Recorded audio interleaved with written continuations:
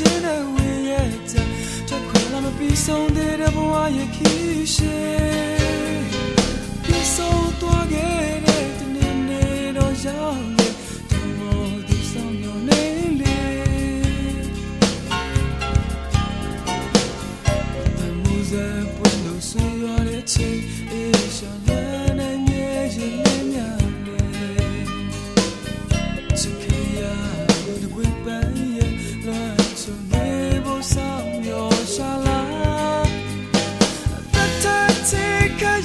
快也。